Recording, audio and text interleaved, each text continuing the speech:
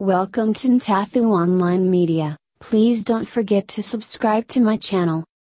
Susan makes a decision that turns Azwindini's world upside down.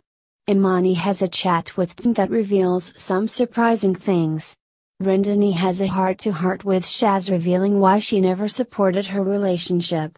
However, things are still sour between them after the fight they had yesterday.